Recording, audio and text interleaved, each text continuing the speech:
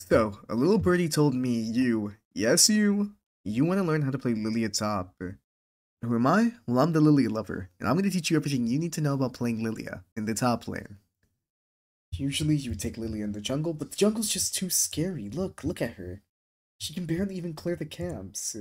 Lillia jungle is not viable at all. Just look at her. It's impossible. Look how much easier it is for her. Look at her farm. Look at her go. There we go, Lillia. Lane you truly belong. She's so happy to be here in the top lane. That proves it. That proves Lillia Jungle is unviable and you should only play her in the top lane. But don't worry my friends, I'll teach you everything you need to know to play Lillia in the top lane.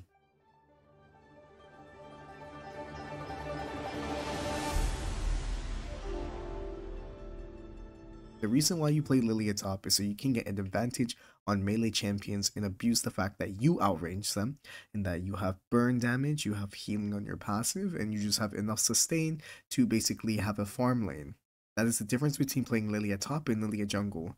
You're just trying to get an advantage based on farming and then putting the enemy top laner as behind as you can. Uh, you know, poking them when they go for CS, uh, killing them. You have true damage on your Q, bonus damage on your W. It makes the lane hard. The rune page, you're going to be looking to go into Precision, into Resolve. Precision Tree, you're going to take Conqueror because Conqueror is the only rune here that you can take. It's her best rune as well. Presence of Mind because you use up so much mana. Tenacity because, again, you're going to be running into five people on the enemy team trying to get that five man ult, just running around. Right? The best thing about Lillia is her movement speed and how quick she is. So if enemy team stuns you, it's kind of game over for your character. That's when Tenacity comes and helps you out.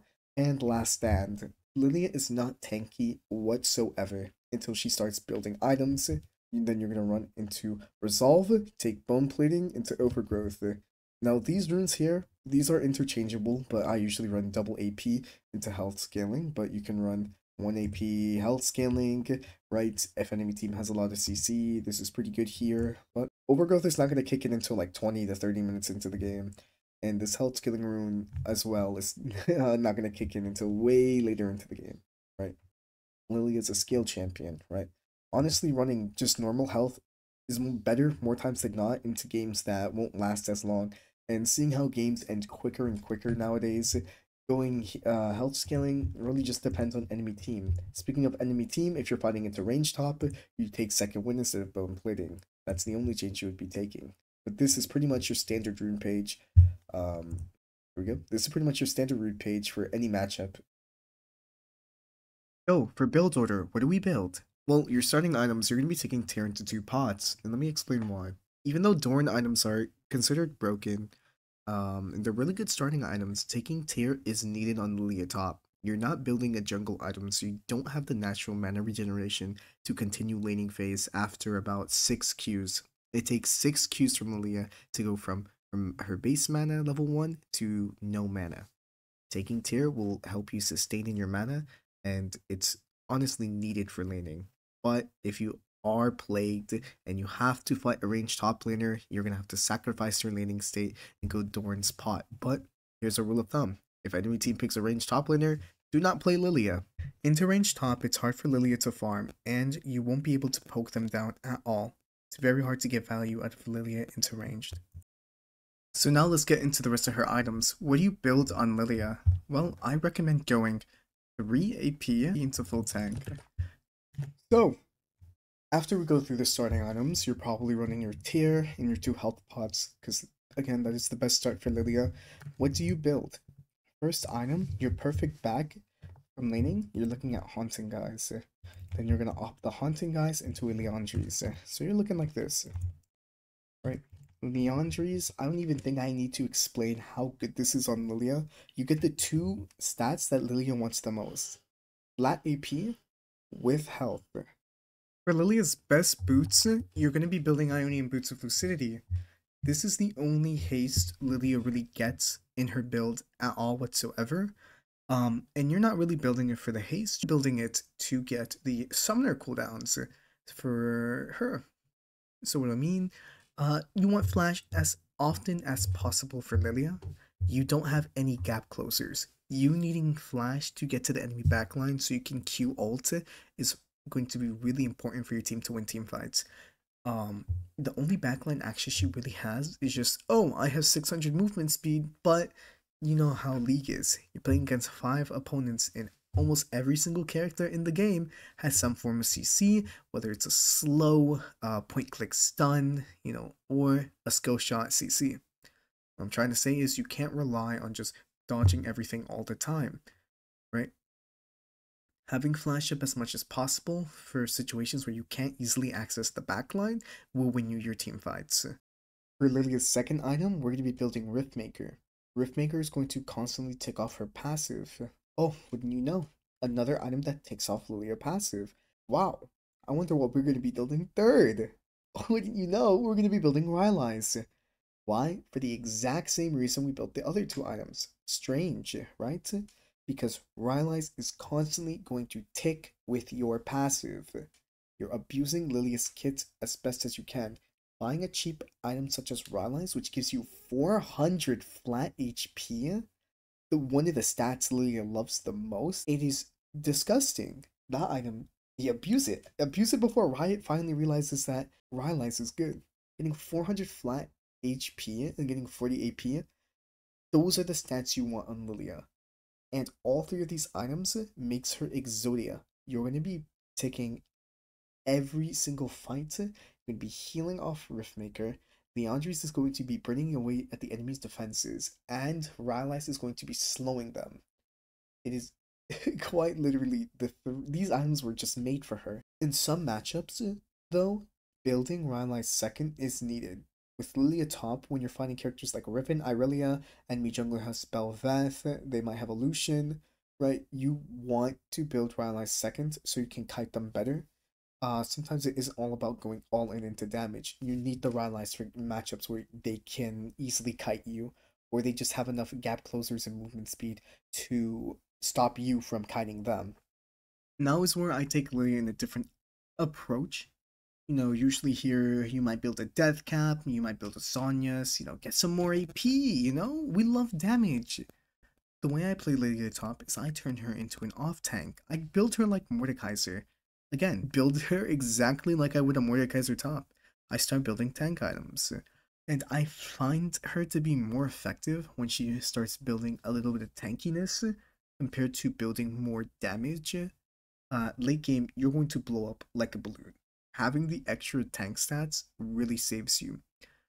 Um, believe it or not, her next best item when building tank, and you're not even gonna be surprised, it's gonna be Jak'Sho. If enemy team is mixed damage, building Jak'Sho is the possible best tank item Lily can get because you will insta proc Jak'Sho all five stacks with one ability. Do you know why? Because Lillia Burn will count you being in combat for 5 seconds. That's right. Another item that abuses Lillia passive, you're building a 300 health item, and you're getting 75 armor, and you're getting 75 magic resist. Or 65. For other tank items Lillia can build, if enemy team has heavy crit, Randuin Omen is the perfect item for her to build. They have a Yasuo, they have a Samira, they have a Yone, right? All in the same team know they get a lot of crit damage. Building Randuin's Omens can give you a lot of value. Okay, what if enemy team doesn't have a lot of crit? What am I supposed to build then? Getting Unending Despair is going to be the second best item for Lillia to get if they don't have crit and they're building heavy AD. Bam bam. Okay, what if they're heavy AP? Get a Kaenic Rookern. Right, Rookern is way better than Spirit Visage. Spirit Visage healing is pretty much a bait. You're not going to be healing enough to warrant getting Spirit Visage over Rookern for one main fact. Right now, with this build, hitting four people at once, I can guarantee you I'm only going to be healing around, you know, 300 health.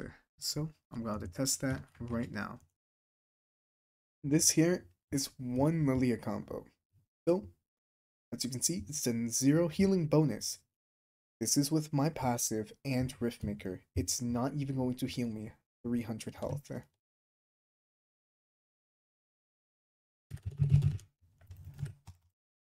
Right, that's a full Lillia combo. I'm healing off Conqueror, my passive, and Riftmaker. Let's see how much Spirit Visage helped me.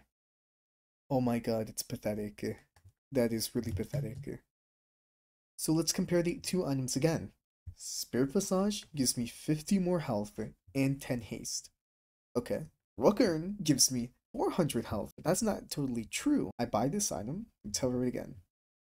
I'm getting 703 extra bonus health on Lillia with as a magic shield, right? So that 50 extra health, that kind of doesn't really matter here anymore because I'm getting 703 bonus magic health. All right. Well, let's check the other stats. Oh, it gives me more magic resist. Okay. And it gives me more base health regeneration. But what about the haste? Lillia is not an ability haste champion. She doesn't care about haste whatsoever at all. Ionian Boots helps her for early game. That's the only time she'll ever need haste. You're picking up Ionian Boots so you have flash on shorter cooldowns, and for the fact that early game her Q is kind of long. Right now, my Q is 3.8. I sell this, it's going to be like 3.5. 3.5. You half a second off your Q, and that's the only ability that's really going to benefit the most off having haste.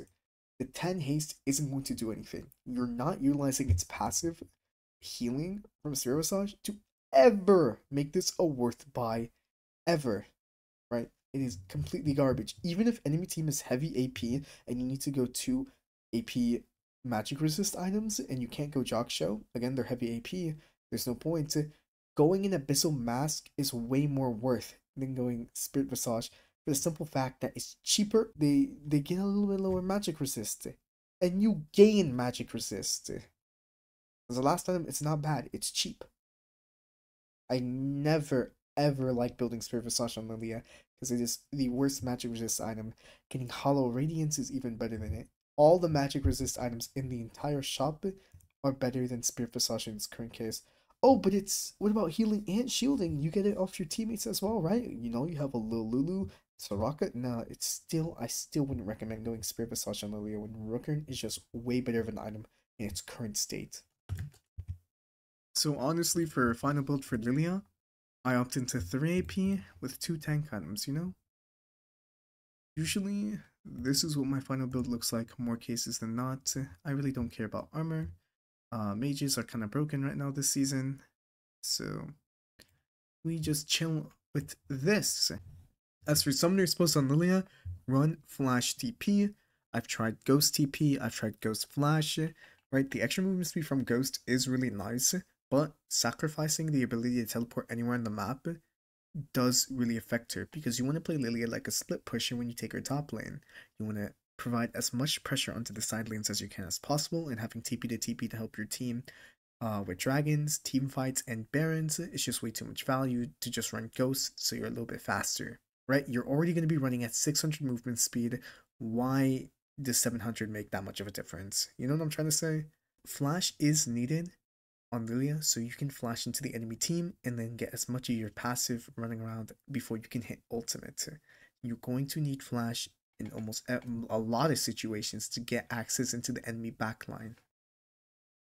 Okay, so I've taught you what runes to take on Lillia, what items to build on Lillia, what type of items to build when on Lillia, and the summoner spell she should take. The last bit of information that I could possibly hand down to you for right now is the matchup table. Again, I'm the only person I know who plays Lillia in the top lane, and I've never played her in the jungle. This matchup sheet is going to be my personal experience with matchups for Lillia, and what I think some of her matchups might go. Again, I've never met another person who plays Lillia in the top lane, so use it as a reference. Some matchups might be harder for you, some matchups might be easier. So we're going to go over the Lillia matchup chart table together. I'm going to talk about specific champions, and specific builds and how to build when you're fighting these champions in the top lane. So I think the tiers are self-explanatory, but I'll explain them a little bit more. You win, you win. yeah, good explanation. These are champions who, if they, uh, who you just abuse. Lillia loves fighting tanks because they can't really fight her back. Um, you get to poke them down easily, and even though there are some characters here who aren't tanks, uh, you also get to abuse easily as well such as Jax jumping on you, you get to outtrade him with your W. I really doing the same and Briar. You just basically have good traits into them. Right? For characters that win late, these are characters you can't kill early game. right? It, you're just gonna sit there and farm. You both just can't kill each other. For skill 50 50, this is when your knowledge of Lillia and how well you can play Lillia will come into hands. This is also test your knowledge against how to play against these champions in general. All about knowledge diff in these matchups here. Hard lane means that you won't be killing them and they can actually fight you back. Uh yeah, you're not able to abuse the reason why you picked Lillia in the first place. Lillia so you could have an easy lane and put the enemy top laner behind with your poke. Never pick lane, also self-explanatory. These are Lillia matchups where it's almost impossible for her to win, even with heavy jungle assistance. Do not pick Lillia into these matchups. Now, let me go over some of them. So even the way you're going to be building is different for what matchup you're into. The Yuan tier, you can build normal Liandry's into um, Riftmaker, right? For some of these characters in the win late, you're going to be building your, again, normal Liandry's into Riftmaker. All these characters in skill 50-50 hardly never pick, and half of the characters here in win late, we're going to be building a Rylai second. Building a Rylai second actually allows you to start killing some of these characters, especially in the win late category. Vayne is a prime example of this, so is Quinn, Graves, Akshan, and Pantheon. These characters you can absolutely start dueling now that you have a Rylai's and they're slowed. Same for the Aerie character here in skill 50-50, getting Rylai's makes the matchup way easier. With a never pick category, some of these characters play completely identical, so I'm going to be doing them in pairs, right? Udyr and Zac, they have more sustain than you, right? Their poke to them doesn't matter. And they will out damage you in trades. It's completely ridiculous. I hate it so much. You'd be playing the lane perfectly fine. Udyr will Ram's dance into you, you know, and then he'll double ultimates, procking Cryo Phoenix, and then he'll just born heal up all his health eh, off minions. It's a very obnoxious to play into, especially when he just builds a Runic Rooker first. Again, the same the same exact way for Zac, by the way, right? He fights you, he picks up his blobs, he heals like hundreds of HP, and then he just builds a Runic Rooker. You know, you just can't kill him. Mean, he'll just outdamage you in trades. For TF and Jace, Twisted Fate and Jace play basically the name similar for how you're not going to win. They have good self peel. Jace has his knockback, right? TF has his point and click gold card. Um, and they outrange you. Simple to put it. Especially when TF builds a rapid fire first. All items TF build gives him movement speed. So even if you do go a uh Riftmaker, sorry, not Riftmaker, a Rylai's, right, he'll eventually just walk it off and still outspeed you. Especially with his point and click stun. It's very, very, very hard to ever get onto TF. And you just end up losing lane. Jace outranges and outpokes you, and if you try to step up to him, he will actually fight you in melee form. He's one of the characters who, you know what I said for Irelia and Jax, how they'll just jump on you and punish them for W? Yeah, he'll just cancel yours, so it's just kind of terrible there. Renekton and Sett also play kind of similarly. You walk up to poke Sett, uh-oh, you went into his E range. Now he pulls you, stuns you on your own minions, by the way. And he hits you for about 400 HP. He gets in 4 auto attacks. It's very, very hard. And then when he hits level 2, right, he gets his Q. At level 3, he gets his W, and you just can't outtrade him. He's too tanky. His ultimate cancels out your ultimate. It's just not a good time whenever you have to fight a Sett because you can't walk up and poke him. So you can't walk up and farm.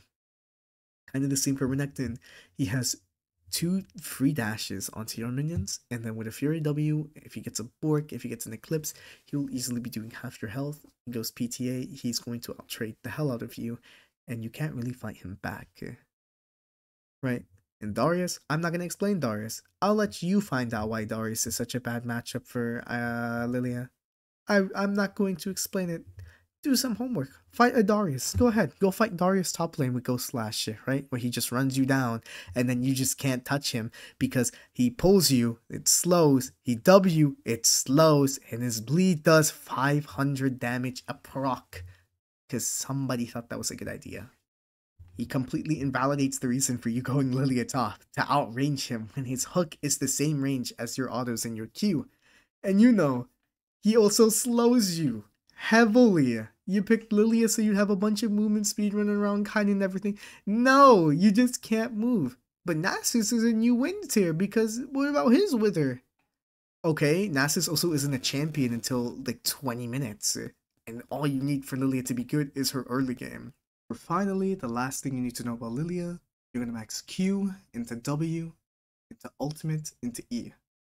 When you're playing ranged matchups as Lillia, you're going to put 3 points into your E and then play like normal. There you go. That's the Lillia Lover's Guide on how to play Lillia top lane. You still having doubts on Lillia top being bad? You know, yeah, it's a cool gimmick and all. Mm. Oh yeah? Well, watch this shit. We agree, Making's actually kind of so now legal. This song is sponsored by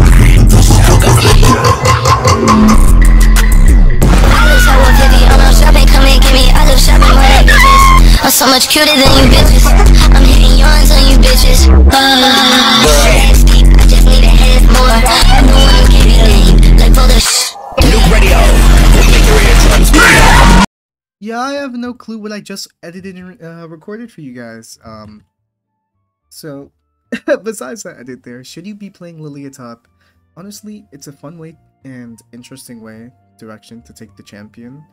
Um, I'm a guy who doesn't enjoy jungling at all, and as a guy who only plays Lillia top, that's the way I accumulate all my mastery points.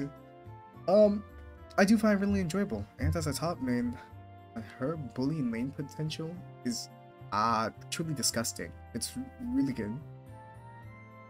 So yeah, I hope this video at least convinces somebody out there to also try Lillia Top once. And to the people on TikTok I told this video would come out on the 20th of February, you didn't see that post.